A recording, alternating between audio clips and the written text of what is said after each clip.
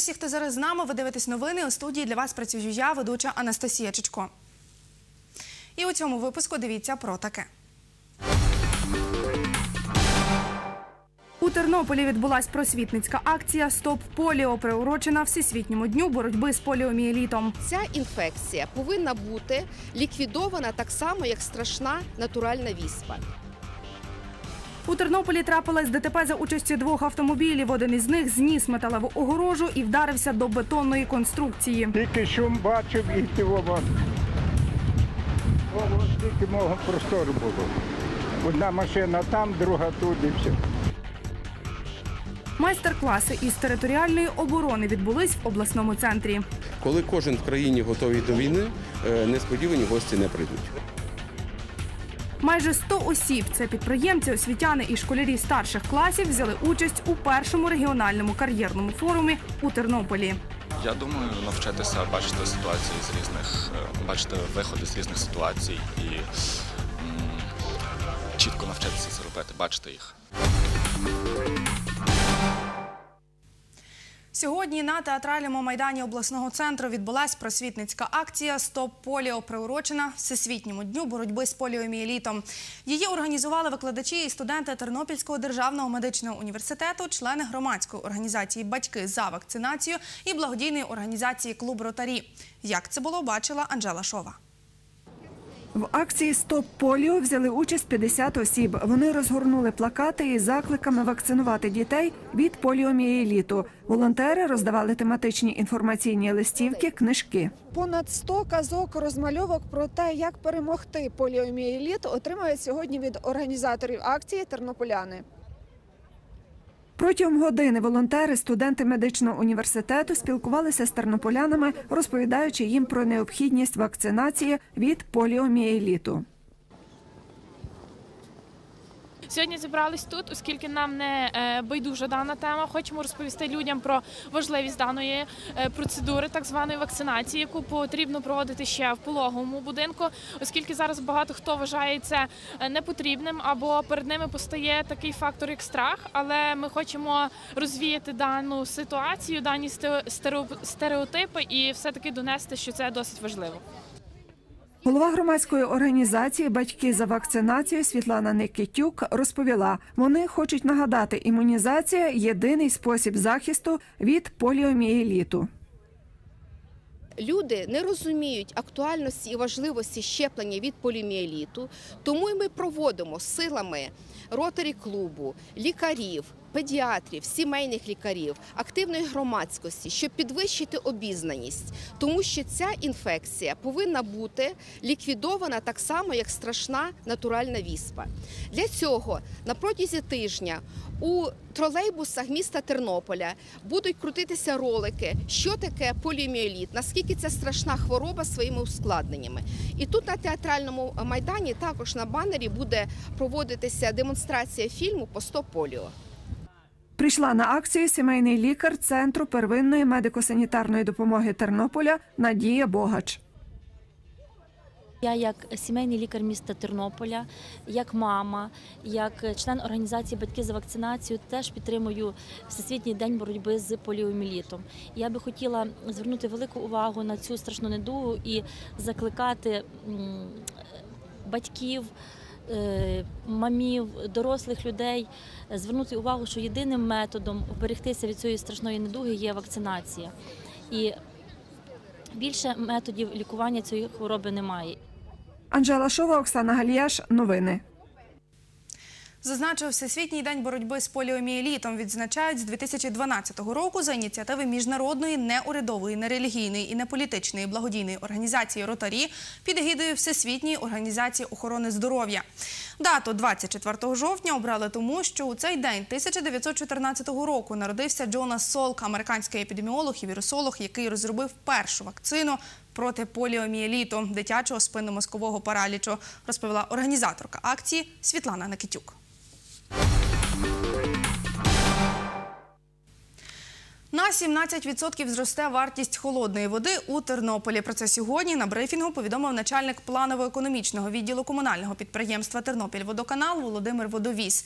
Мешканці багатоквартирних будинків платитимуть за один кубометр холодної води 14 гривень 86 копійок. Приватних будинків 14 гривень 25 копійок.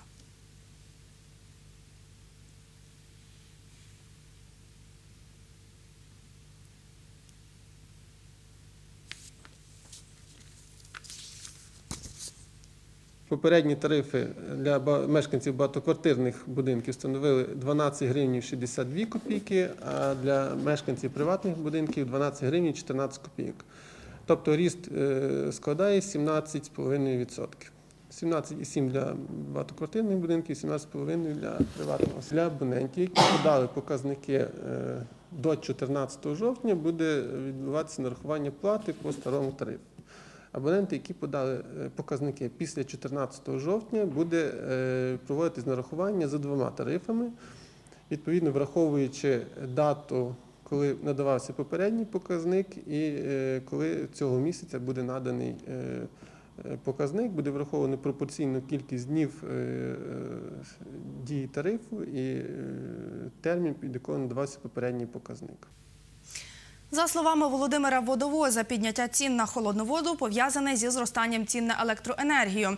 Комунальне підприємство Тернопільводоканал зараз боргує понад 11 мільйонів гривень за спожиту електроенергію. Також нові тарифи враховують зміну прожиткового мінімуму, який підняли 1 липня 2018 року до 1777 гривень і мінімальної заробітної плати, яка з 1 січня 2018 року зросла до 3723, каже Володимир Водовіс. Зазначив, востаннє піднімали тариф на холодну воду у Тернополі в березні 2017 року.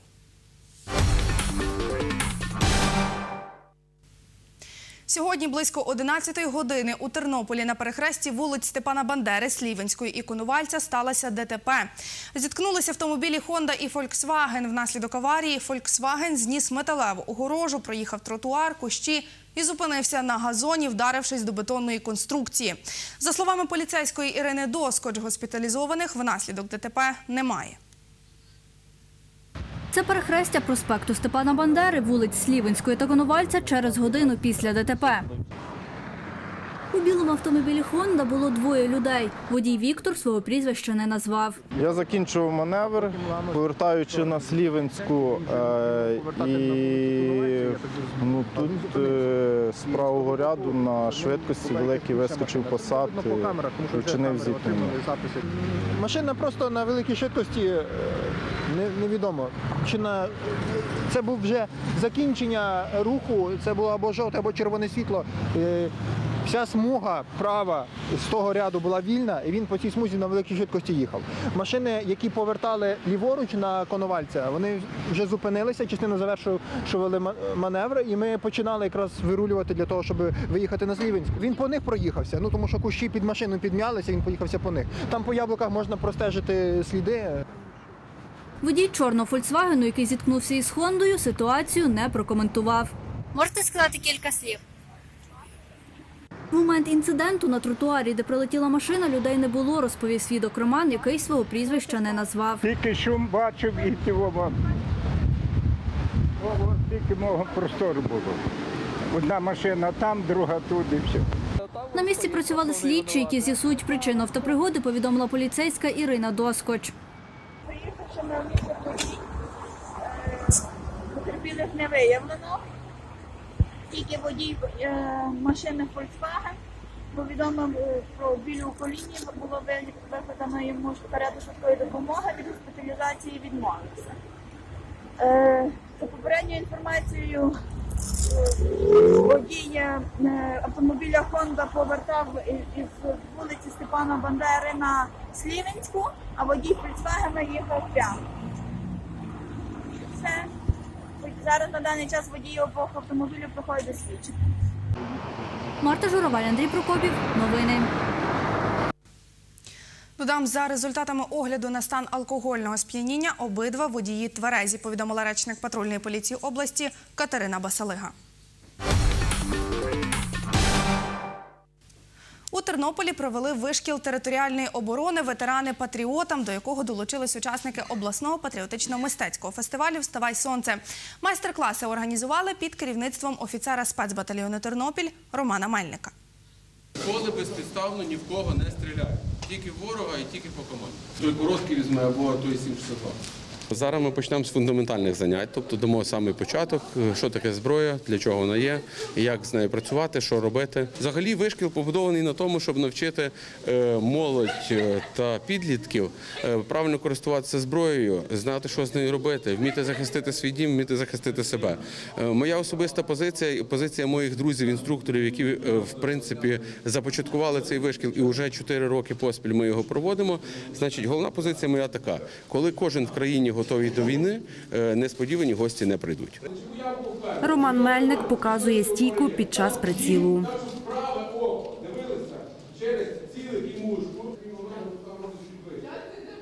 В рамках фестивалю сьогодні ми вирішили е, все ж таки об'єднати наші зусилля е, в тому сенсі, що артисти артистами, щоб це не виглядало, що артисти вони от такі от тендітні дуже там особи, які не дотичні до, до того, що відбувається загалом в країні. Це справді війна, і невідомо, як будуть розвиватися події, і чи вона завтра вона може бути і навіть тут. Тому для того, щоб розуміти ситуацію і вміти вийти з, ну, ситуації, яка може статися. 15 юнаків і дівчат вчать правильно тримати зброю і цілитись. У ці хвилини учасники вишколу діляться на дві групи, аби зіграти сцену штурм приміщення. Одна група штурмуватиме приміщення, інша захищатиме його. Е, Роль снайпера виконує народний артист України Гриць Драпак. Сьогодні можна тільки по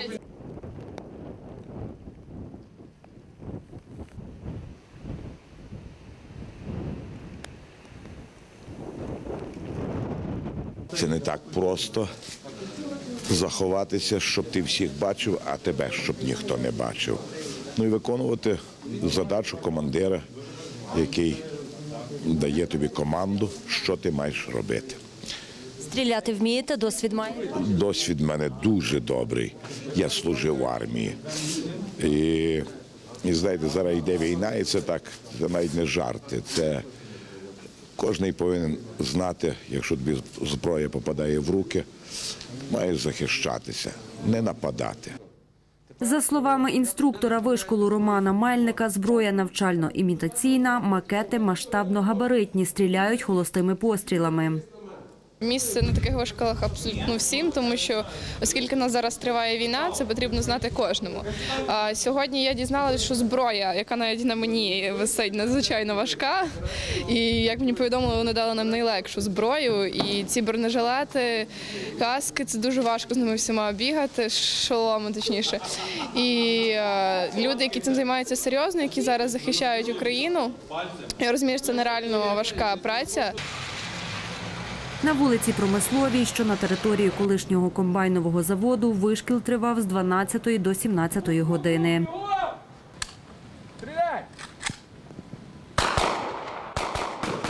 Марія Котенко, Юрій Багрій. Новини.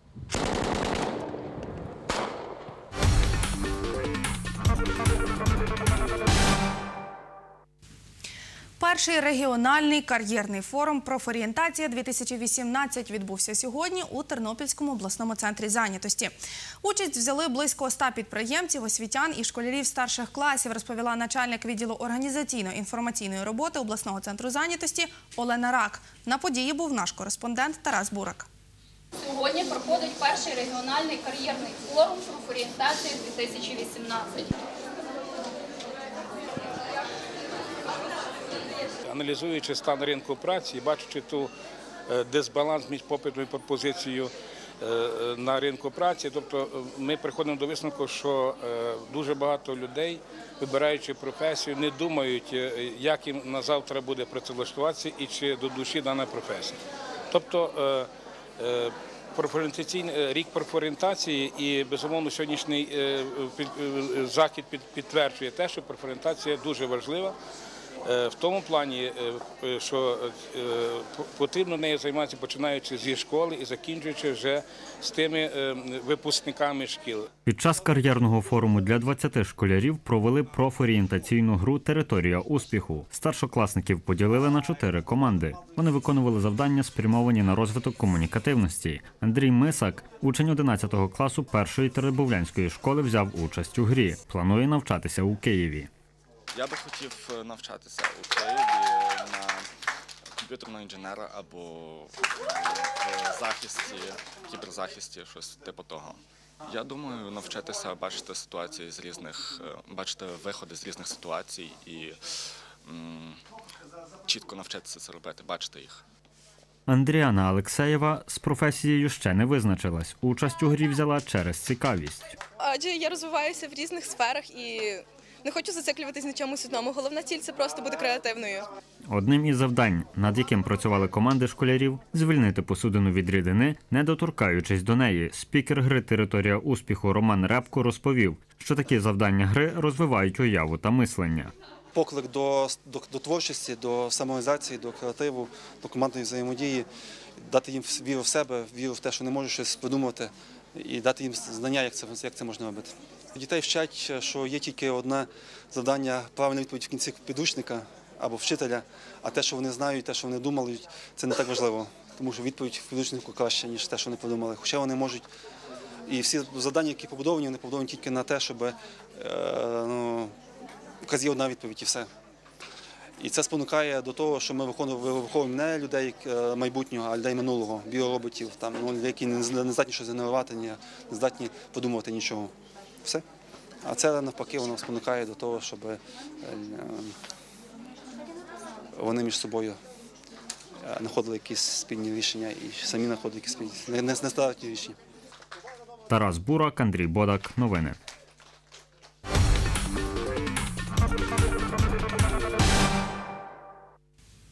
Українській гімназії імені Івана Франка у Тернополі відбувся вечір спомин, присвячений 80-річчю з дня народження археолога, історика, мистецтвознавця і громадсько-політичного діяча Ігоря Герети. На захід прийшли його друзі і побратими.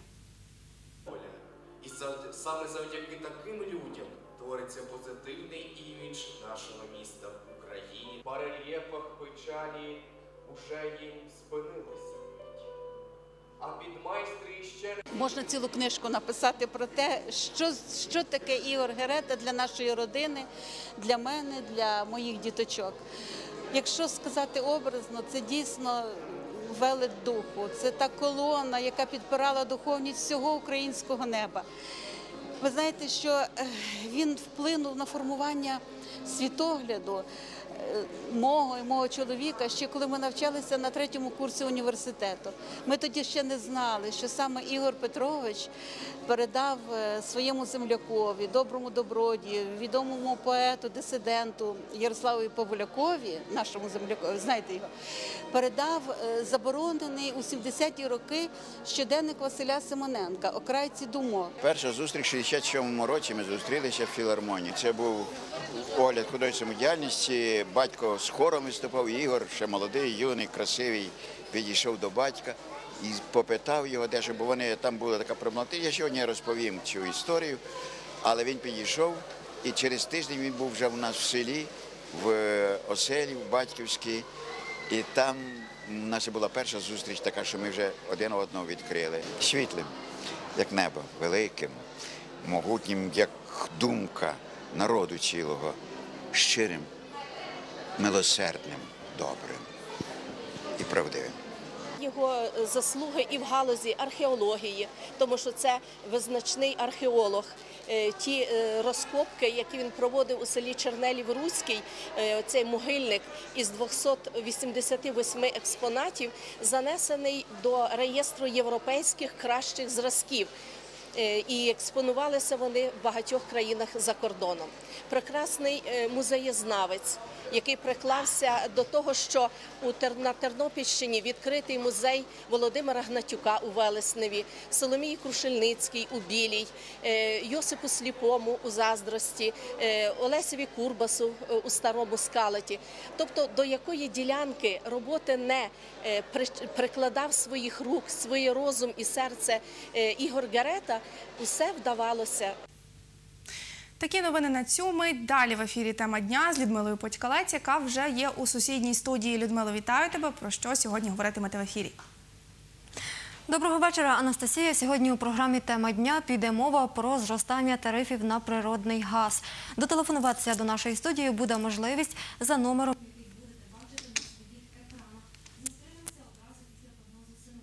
Анастасія. А я чекатиму вас тут з оновленим інформаційним випуском о 20.40. Не перемикайте.